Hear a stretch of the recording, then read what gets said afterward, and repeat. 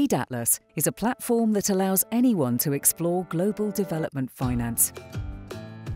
Let's say you want to perform a sector analysis on Aid Atlas using the search tool, the interactive flow diagram and the detailed profile page.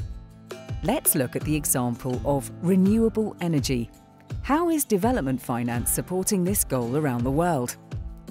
Step 1. Define your search.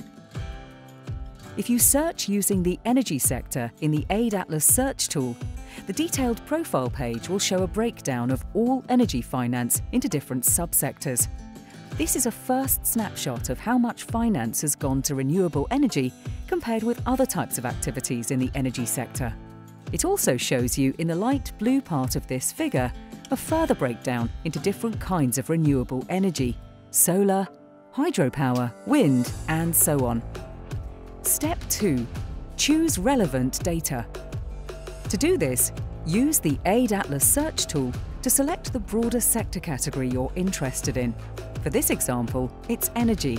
Click Search, and then at the bottom of the detailed profile page, you'll see a link to download the raw data. Step 3. Filter the data.